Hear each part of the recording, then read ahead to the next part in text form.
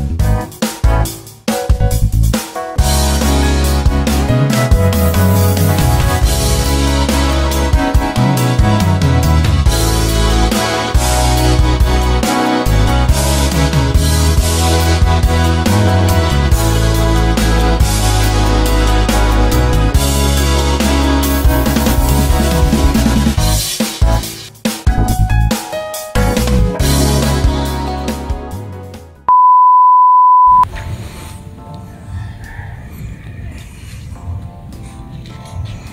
Alright mga ka-sky watchers and mga ka-spacers. So magandang umaga po. Today is August 13, 2023 And sinet up natin itong Vixen 70mm Achromatic Refracting Telescope That is mounted on a Vixen Porta Altazimuth mount. And we will be observing the sun. It's uh, beautiful Sunday morning of August 13 and hindi natin matiis obserbahan yung araw. Okay, so let us now look through the eyepiece. Our telescope here again is equipped with a Baader solar filter. Ayan po yung solar filter. Okay, and again sa mga nanonood po sa ating vlog, never observe the sun directly without uh, proper equipment.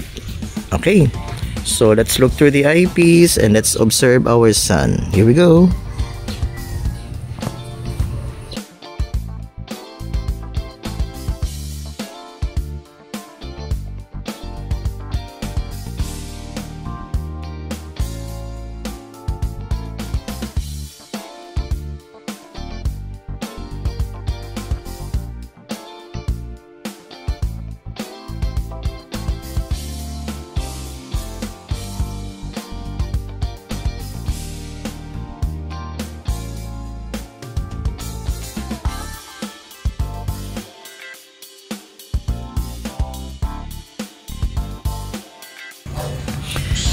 Alright mga ka-sky and mga ka-spacers natin out there from Luzon, Visayas and Mindanao. And sa lahat po ng ating mga ka-sky watchers and mga ka-spacers na nakatutok po ngayon sa ating vlog worldwide and netwide, magandang araw po sa inyong lahat. This is your sky watcher and ka-spacer Sir June Kahigal and welcome to another of our ka-spacers vlog. So today is August 13, 2023 and we are observing the sun. And uh, we can see several large group of sunspots. And again po mga ka-sky watchers and mga ka-spacers, itong mga sunspots na ito ay mas malaki pa sa mundo natin. These sunspots are bigger than our planet. And uh, these sunspots are magnetic storms.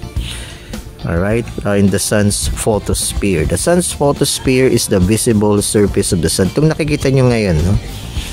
Alright.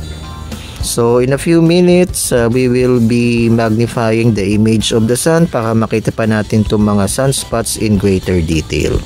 Uh, but before that, again, pakiusap ko lang mga ka-sky watchers to please like and share this video so that we could reach more people. Lalong-lalo na po yung mga estudyante natin out there so that they will be engaged and they would be inspired to love the sciences. Don't forget also to follow us on our Facebook page, the Skywatcher Society of Las Piñas. And don't forget to follow us on our Facebook page, also the Bedan Society of Young Astronomers. And check out my YouTube channel, The Science Guy Professor Jun Kahigal. And don't forget to subscribe and click on that notification bell. Alright, so shoutout po sa lahat ng mga sky watchers and mga ka-spacers na nakatutok po ngayon sa ating uh, solar observation this uh, morning of August 13, 2023. Yan, siguro mga past 9 na po ng umaga.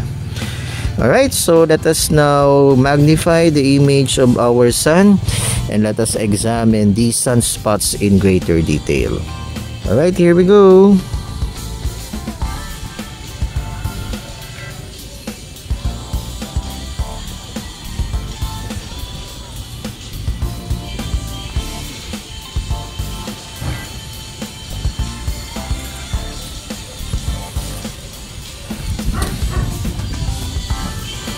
Alright, so ayan po yung ating mga sunspots. Yan, parang nabawasan no, unlike in my previous solar observations. Yan, pero madami pa rin yan at malalaki pa rin po yung mga sunspots na yan. And uh, these sunspots again are magnetic storms. So these are cooler regions of the sun's photosphere and uh, mga magnetic storms po ito. Alright.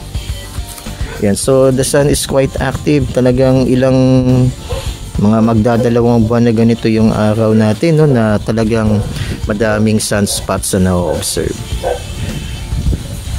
Alright, let's scan the surface of the sun. Yan, at ang gamit ng telescope ay yung Vixen uh, 70mm achromatic refracting telescope that is mounted on a Vixen Altazimuth mount. Vixen Porta rather. Yan, naka Vixen Porta Altazimuth mount tayo.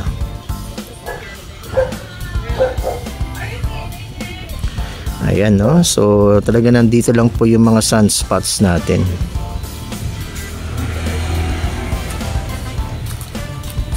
Alright mga ka-sky watchers, just comment down below kung ano po ang inyong masasabi sa ating uh, solar imaging ngayong araw na ito. You can see those dark central region of the sunspot that's called the umbra and we have the lighter outer section called the penumbra. And again, these sunspots are even bigger than our planet. Ayan no. So again, shoutout po sa lahat ng mga nakatutok sa ating vlog and shoutout po sa aking mga bagong officers ng Vedan Society of Young Astronomers. Yan, bibigyan nating sigla ang BSYA. And shoutout sa mga volunteers ko from the Skywatcher Society of Las Piñas. And by the way po, mayroon po kaming mga ganap next week. So, antabayanan nyo po yan. Just check our Facebook page, yung Skywatcher Society of Las Piñas. Uh, mga ganap namin na free public telescope viewings sa inyong mga lugar.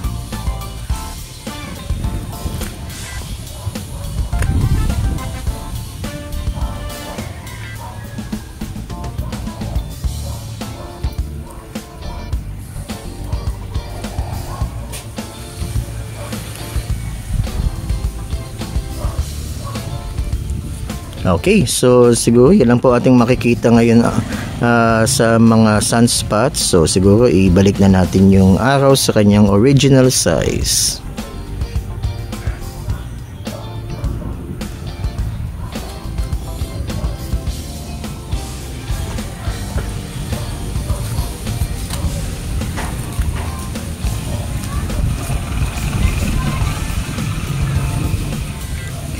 Okay, so there you have it mga ka-sky watchers and mga ka-spacers. That's our solar imaging. Uh, today is August 13, 2023. Ayan, so nakikita natin yung uh, mga sunspots ngayong araw na ito. Alright, so hanggang dito na lang tayo sa ating vlog. Don't forget to check out again our Facebook page, the Skywatcher Society of Las Piñas. Follow niyo po kami dyan and follow us on our Facebook page, The Bedan Society of Young Astronomers. And yung aking YouTube channel, The Science Guy Professor June Kahigal, mag-subscribe na po kayo and click on that notification bell. Alright, so hanggang dito na lang po tayo. And yan ang ating araw ngayon na August 13, 2023 with those large group of sunspots. Maraming salamat and uh, Just always keep your space and always keep looking up. Bye-bye po. See you in our next vlog. Bye-bye.